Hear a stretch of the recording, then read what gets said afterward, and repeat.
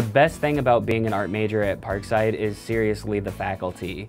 I chose Parkside because a friend of mine was going here and he gave me a tour of the campus and I really liked what I saw. We have professional artists who come here and do artist visits and are all just captivated by how wonderful our spaces are and how well equipped we are with our studios. We have six different dedicated studios for our art students and graphic design students. We have photography, printmaking, painting, graphic design, sculpture, ceramics, and uh, a few foundation studios as well. We have three different art galleries here on campus. We have the Fine Arts Gallery, we have the Methods Gallery, and the Foundation Gallery. They're a great place to display your work and see the work of other people from the local area.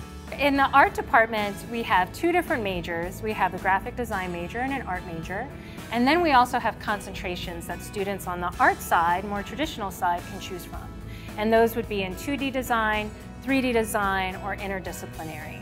And then we also have certificates for students who really can't do the full credit load of a major. And those would be in art history and design.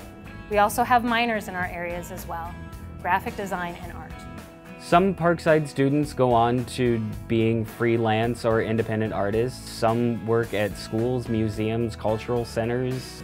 Others go on to really awesome graduate programs. We have students on the graphic design side that get all sorts of opportunities. We have students who, whether they're in graphic design or in studio art, always continue exhibiting their work and making artwork, and we're very proud of that.